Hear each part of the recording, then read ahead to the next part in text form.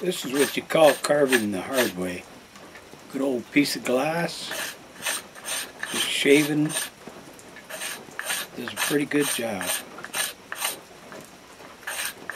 Try to make it round as possible. Turn out to be a baseball bat. Never know.